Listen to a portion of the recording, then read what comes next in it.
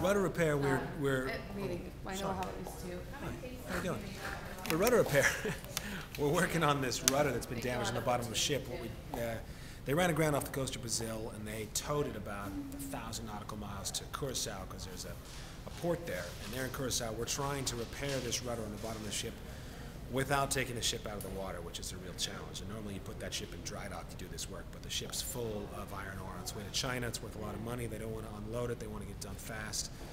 So we're trying to work underwater to cut this 50-ton rudder off, get it removed, and get it floated up to the surface. And there's a whole system of welding in pad eyes and putting in uh, chain falls and trying to slowly lower it out. But uh, I ran into a lot of obstacles. It was so mangled. Once we did our first inspection dive, the whole rudder was so mangled from hitting the bottom. It was just completely bent up. And we got down there, we're trying to use ultrathermic gouging, so ultrathermic rods to try to cut out big sections of steel. We tried to, to do several different tricks to sort of bust it loose.